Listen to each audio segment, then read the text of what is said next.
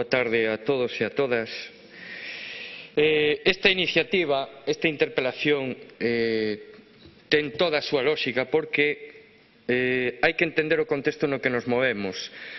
O plan Juncker, que non é outra cousa que puro malabarismo financiero, enxeñería financiera ben practicada por unha persoa que non debera estar aí o mando do noso destino, como é o caso do LuxLeaks ben informado, xa avanzado polo voceiro do BNG.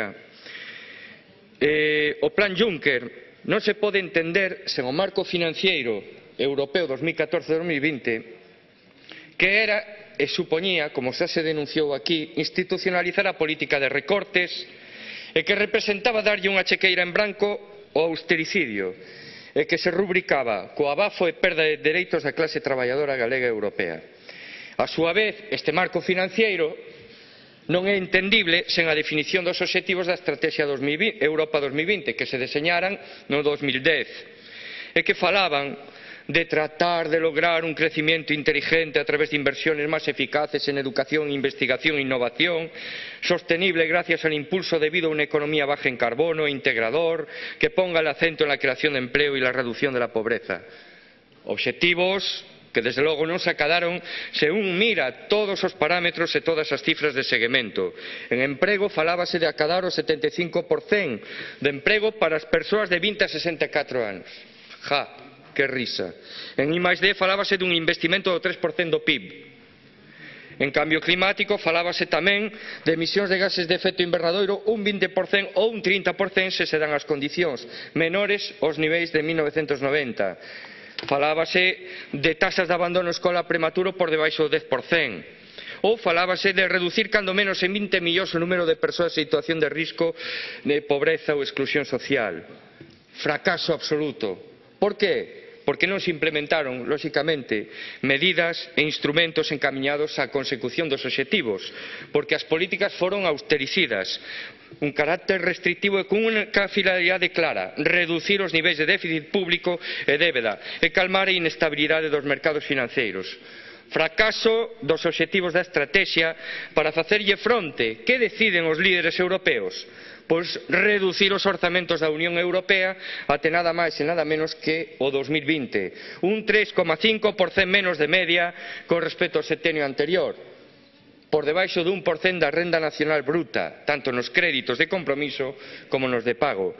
E ante esta circunstancia máis que evidente de recortes, a Comisión Europea lanza o Fondo Europeo de Investimentos Estratégicos, coñecido como Fondo Juncker, que non é máis que enxeñería e manobrería fiscal. Porque non é certo non é certo que se podan saber que se van a cadar 315.000 millóns de euros.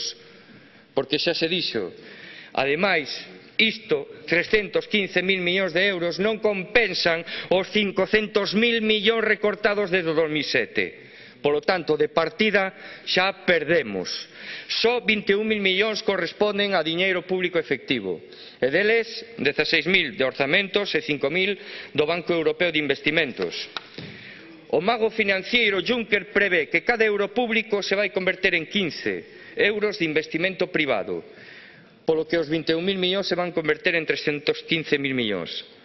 Resulta evidente, polo tanto, que o diñeiro público que se compromete é irrisorio, o que demostra as resistencias por parte das institucións europeas a empregar as palancas do gasto público para reactivar a economía.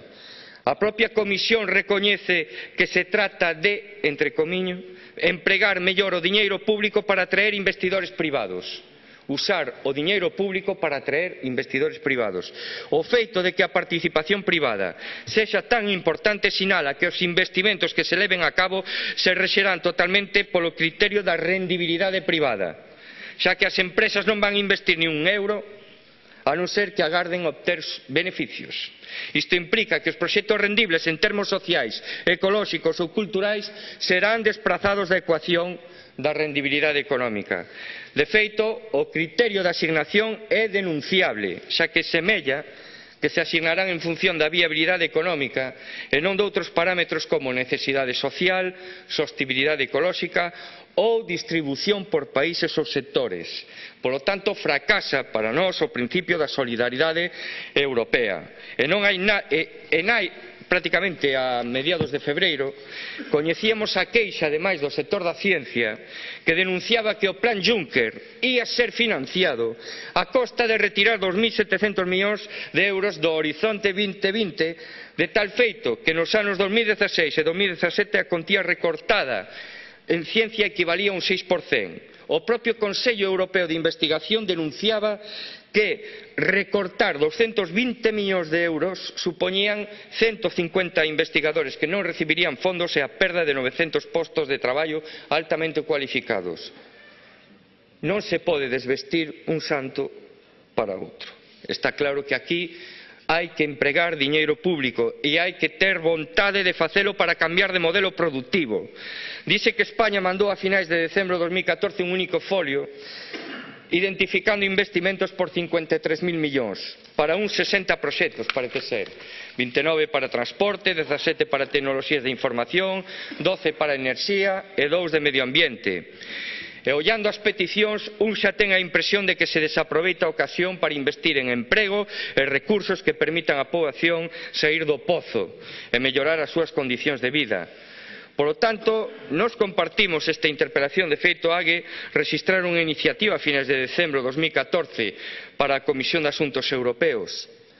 E aí preguntábamos, e polo tanto aproveitamos esta interpelación para preguntar, moitas preguntas que nos veñen á mente e que non obtivemos aínda resposta porque non sabemos cal é o traballo que fai o Executivo galego a ese respecto, cal é o rol de Galicia neste fondo, cal foi a relación do Executivo galego co Goberno do Estado a parte desa carta, cales foron as demandas concretas galegas, a cronoloxía, a aplicación, o carácter técnico, o carácter social, os beneficios, que se pediron desde Galicia a cargo dese fondo, criterios para a súa selección, desenvolvemento e cronoloxía da aplicación, que axentes galegos se van ver implicados, que contías investirán, cales son os proxectos que permitirán ir definindo un novo modelo productivo que nos quite dos sectores actuaismente que son os que únicamente están prevalecendo que é de novo a construción e de novo o sector servizos únicamente,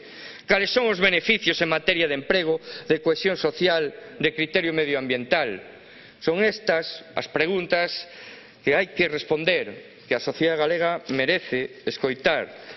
Eh, porque desde logo o único que vemos aquí efectivamente é un proxecto que vende fume, que vende fume nun momento necesario porque necesitamos escoitar esperanza, pero desde logo desde Europa todo o que nos foi chegando Tanto o Plan Juncker como a Estrategia Europa 2020 como o Marco Financiero Plurianual 2014-2020 está todo inserido nun sendeiro de recortes e, polo tanto, co sendeiro de recortes e co sendeiro do teito eh, de déficit, pois, lóxicamente, non se vai poder sair do buraco en que estamos mergullados. Así non se pode construir unha Europa dos povos, esta Europa é insolidaria.